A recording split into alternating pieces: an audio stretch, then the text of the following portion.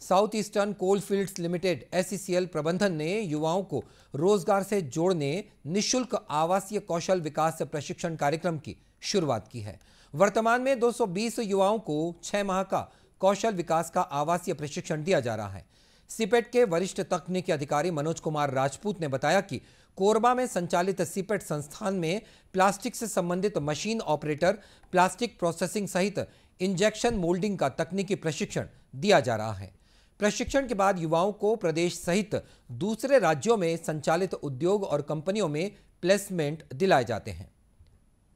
संबंधित विभिन्न कोर्सेज हैं, जिनमें प्रशिक्षण दिए जा रहे हैं, जैसे कि plastic processing, injection moulding, extrusion, blow moulding, इस तरह के कार्यक्रम हैं।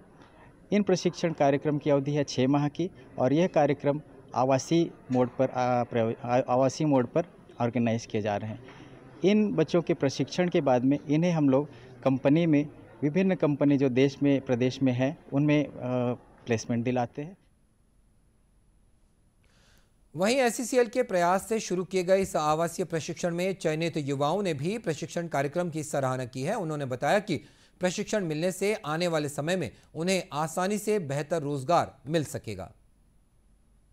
कि हम लोग हमेशा प्लास्टिक का यूज़ करते हैं। लेकिन प्लास्टिक के जो सामान है, वो कैसे बनता है हमें मालूम नहीं होता।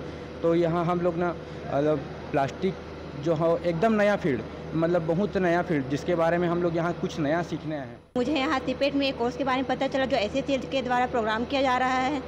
और यहाँ बस हम प्लास्टिक मटेरियल के बारे में सीखते हैं कि किस तरह से हमें प्लास्टिक मटेरियल से हमें प्रोडक्ट बना के, प्रोडक्ट बना सकते हैं, करके। इस बारे में जानकारी देते हुए एससीसीएल के जनसंपर्क अधिकारी डॉक्टर सनीश चंद्र ने बताया कि पहले चरण में 220 बच्चों को कोरबा के सीपेट में और 80 बच्चों को रायपुर के सीपेट में आवासीय प्रशिक्षण दिया जा रहा है।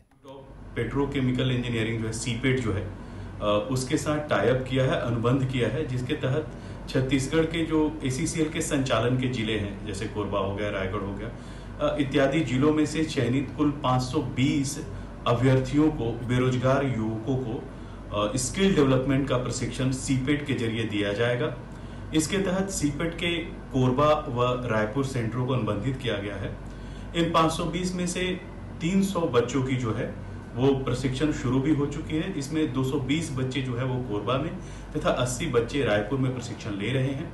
छह माह का यह निशुल्क है, जिसमें कि किताबों के खर्चे के साथ साथ रहने का खर्चा भी एसीसीएल वहन करेगी। और आ, मैं बताना चाहूँगा कि पूर्व में ट्रायल बेसिस पे प्रोजेक्ट में 40 बच्चों को प्रशिक्षित किया गया था रायपुर में और 100 परसेंट उनकी प्लेसमेंट हुई थी।